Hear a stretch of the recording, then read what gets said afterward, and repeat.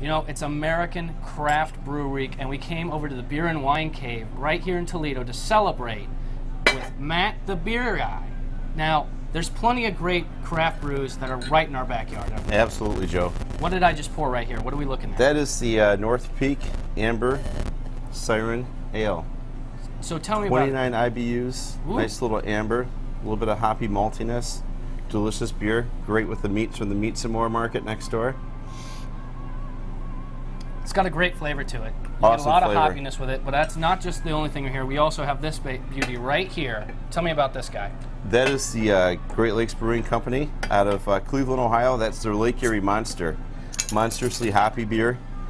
It's uh, delicious hoppy love right there in a cup. That does look absolutely fantastic. And continuing our theme down the line, this is a really rare beer you were telling me earlier. This is, it's a limited release. It's a vintage 2009 Big Dick's Old Ale from Battle Creek, Michigan. Specifically, Joe, the uh, brewery is Arcadia, and they call their beers Arcadia Ales. Now, what makes this beer so rare? Well, it's it's cellarable. It's age worthy. Uh, a lot of people have been cellaring wines for years. You can do that with great beers. So, th- So- and then finally, on our list of four that I had pull for, you had pulled for us today, this one I'm really excited about. Tell me a bit about that. Last but not least, everyone wants a little dessert. This is dessert in a bottle. This is Dragon's Milk from New Holland. And it's a ale aged in oak barrels, quite similar to the uh, oak barrel, Joe, that we're set up on. Absolutely. Now, the thing about craft beer is, I mean, there's been this explosion in American culture where people are deviating from the, the typical, you know, the big three domestic brews and getting into craft brews. We- We're finding phenomenal success. No one's ever backed their truck up since we've been open for five years now. And so in Huddy, get closer, I found out where they sold Budweiser.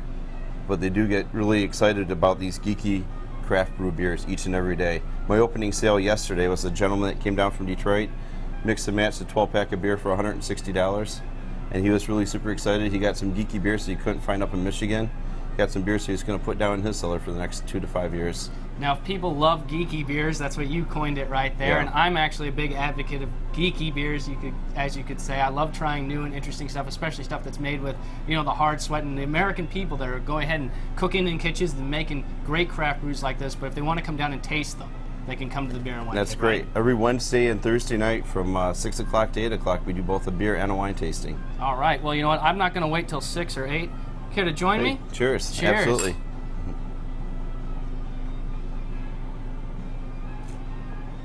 That's good geeky beer.